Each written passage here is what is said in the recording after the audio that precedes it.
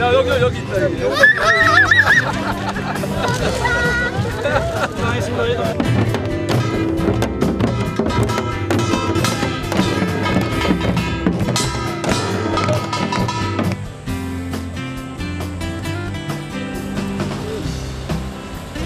손잡아 손잡아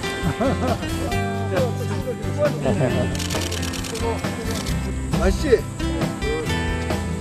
내가 지나가다 보니 찐빵 있더라 그래서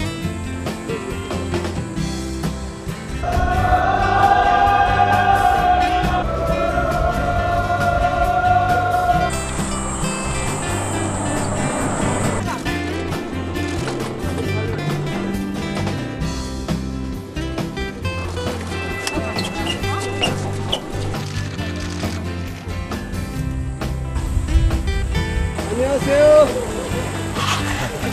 반갑습니다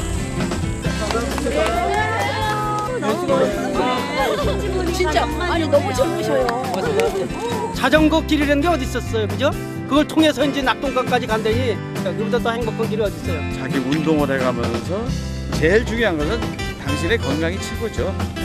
가장 좋은 거는 뭐 저희들이 편안하게 아무 무리 없이 달릴 수 있다는 게 가장 좋은 것 같습니다.